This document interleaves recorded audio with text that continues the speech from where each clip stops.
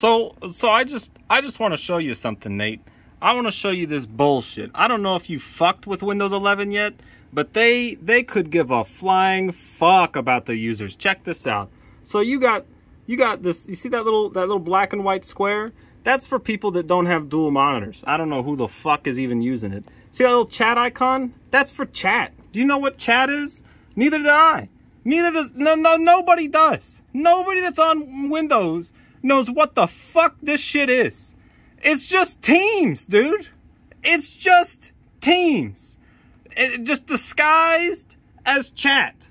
Who in the fuck is using this? And I just, I, I got distracted. Let me show you what I'm bitching about, Nate. You see all this empty space? What is it? Well, I don't even know what that is. You see all this empty space here on this bar? Check this out. Look at how big it is, too.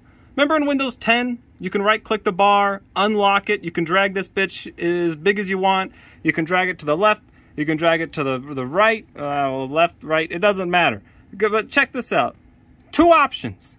Two fucking options. You click here. Look what it shows you. I'm covering the name of the person. But look at this. I can just turn all this off. Get this boom, boom, boom. You see this search bar? Why do they put that there? Because they don't want people to know that you can just click the Windows icon or just hit the Windows key and search shit. So what do we do? We turn this off. Hide it. You see how it's not even off. You just hide it. But look, so look at all this empty space left on the bar. What do we do about that? Well, let me show you. You go down here to taskbar behaviors, open this up. Oh, oh, wait a minute. Wait a minute. You're telling me I can't do anything about it? I can do this. I can hide it. Oh, isn't that nice? Grandma's to hate that. But when you hover over it, it brings up the whole bar. The whole bar and all the empty space comes up with it, dude. Who the fuck puts this shit on a computer? And then look at this. If you don't use this, check this out. You can move it from the center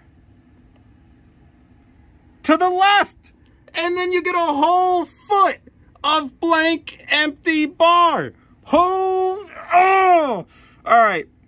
Uh, that's it. I fucking hate Windows. I hate them. I hate them. I swear to God, I hate them.